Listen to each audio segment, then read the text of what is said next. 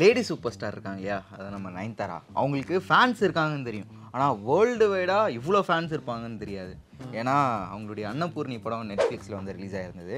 அதுல இருந்து அந்த படத்தை நீக்கிட்டாங்க அப்படின்றதுக்காக ஹேஷ்டாக் பைக்காட் நெட்ஃப்ளிக்ஸ் அப்படின்றது எந்த அளவுக்கு.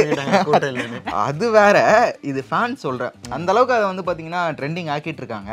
இதுல என்னன்னா மண்டையில இருந்த கொண்டையை மறந்துட்டியே அப்படின்ற மாதிரி ஒரு ரீசனும் இருந்தது. அது நீ சொல்லு. என்ன ரீசன் தெரியலையா?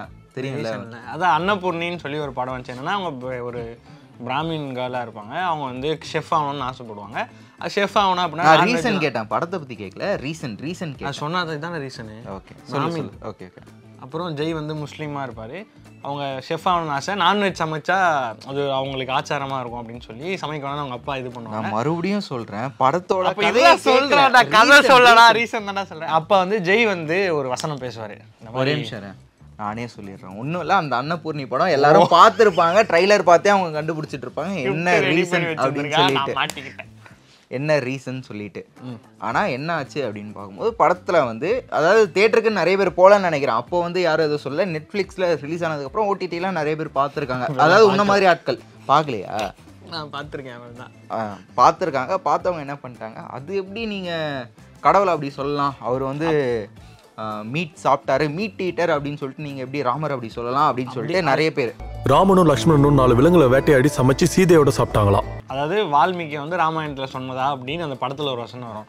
கம்பராமாயணம் அதனால அந்த படத்தை வந்து நெட்ஃப்ளிக்ஸ்ல தூக்கிட்டாங்கன்னு சொல்லி நான் பார்த்தேன். ஆனா அவங்க சர்ச்சைக்குரிய அந்த டைலாக் இருக்க வீடியோ வந்து இன்னும் யூடியூப்ல இருக்கு. பேன் பண்ணணும்னா அது ஆப்வியஸா பேன் நீங்க எதுக்கு பேன் பண்ணிருக்கலாம் அப்படின்னா அந்த கிளைமேக்ஸில் வந்து ஒரு போர்ஷன் இருக்கும். பயங்கரமான ஒரு நேஷனல் யுனைட்டி ஒன்று பண்ணியிருப்பாங்க பிரியாணி சமைக்கும் போது என்ன பண்ணணும்னா தொழுவணும். தொழுவணும்.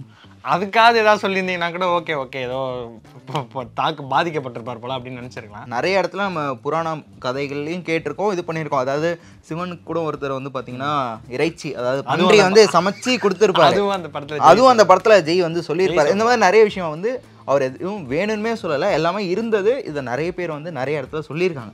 அதை தான் டைலாக்காக சொல்லியிருக்காங்க. ஆனால் அது வந்து நெட்ஃப்ளிக்ஸில் ரிலீஸ் ஆனதுக்கப்புறம் அவங்க எப்படி இப்படி சொல்லலாம் அப்படின்னு சொல்லிட்டு அவாலாம் கேஸ் போட்டிருக்காங்கன்னு நினைக்கிறேன். அந்த படம் ரிலீஸ் ஆன அப்பவுமே தேட்டர்ல இருக்கும்போதே பிரச்சனை ஆச்சு ஆனா அப்ப ஏதோ ஒரு இஷ்யூ பெருசா. ஆனது பெருசா. ஏதோ அப்பதான் மீஜாங் புயலா அப்பதான். அது வந்ததுனால அதை பெருசா யாருமே கவனிக்கலாம் மறந்துட்டாங்க. ஆனா இப்போ அதை கவனிச்சு துல்லியமா பிளான் பண்ணி தூக்கணும் அப்படின்னு. படம் கம்ப்ளீட்டாலாம் தூக்கல. நெட்ஃப்ளிக்ஸ் என்ன சொல்லியிருக்காங்கன்னா அந்த சர்ச்சைக்குரிய இருக்க சீனை வந்து ரிமூவ் பண்ணிட்டு திரும்ப நாங்க படத்தை வந்து அப்லோட் பண்ணுவோன்ற மாதிரி சொல்லியிருக்காங்க. ஆனா அதை அந்த சர்ச்சைக்குரிய சீன் நீங்க பார்க்கணும் அப்படின்னா யூடியூப்ல போயிட்டு அந்த அன்னபூர்ணி அன்னபூர்ணி ஸ்னீக் பீக்னு போட்டிங்கன்னா வந்துடும் அதுதான் அந்த சர்ச்சைக்குரிய சீன் இதுல வந்து நிறைய நல்ல விஷயமும் சொல்லியிருப்பாங்க. இப்போ அகைன்ஸ்டா நிக்கிறாங்கல்ல அவங்களுக்கு சாதகமா வந்து திருச்சியில் ரொம்ப ஃபேமஸான ஒன்று இருக்குன்னா அக்கார வடிசல் அப்படின்னு சொல்லி ஒரு ஒரு ஃபுட்டு தான் போல ஃபேமஸ்ஸு அது ஸ்ரீரங்கத்தில் தான் கிடைக்குமா அந்த மாதிரியான ஒரு நல்ல விஷயம்லாம் இந்த படம் மூலமாக தான் எனக்கு தெரிஞ்சுச்சு இதில் நல்ல விஷயத்த மட்டும் பார்த்துட்டு போகலாம் அது பிரச்சனை இவங்க சொல்கிற மாதிரி ஏதோ பிரச்சனை பிரிவினை உருவாக்குற மாதிரிலாம் எனக்கு அந்த படத்தில் எந்த ஒரு சீனுமே தோணல.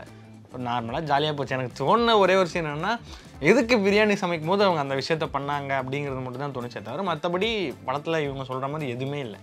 எப்பயுமே பாசிட்டிவ் விட நெகட்டிவ் வந்து வேகமா சர்க்குன்னு பரவும் இல்லையா? அதுதான் வந்து இங்க நடந்திருக்கு ஆக்சுவலா ஆக்சுவலாக அன்னபூர்ணி வந்து ஒரு பயோபிக் யார் பயோபிக் யார் பயோபிக் ஆனா பயோபிக்ன்ற பயோபிக் ஏன்னா சும்மா அவனே அடிச்சு விடுவான். ஏதாவது நெட்ஃப்ளிக்ஸ்ல இல்ல, இருந்து காசு. வாங்கிட்டானான்னு தெரில பயோபிக்ன்றான் என்னமோ சொல்லுன்னு இருக்கான். நம்பாதீங்க. வேற. நல்ல படம் அன்னபூர்ணி நல்ல படம். என் காசு வாங்கிட்டியோ? இல்லைல்ல. Okay that's the end of the video thank you thank you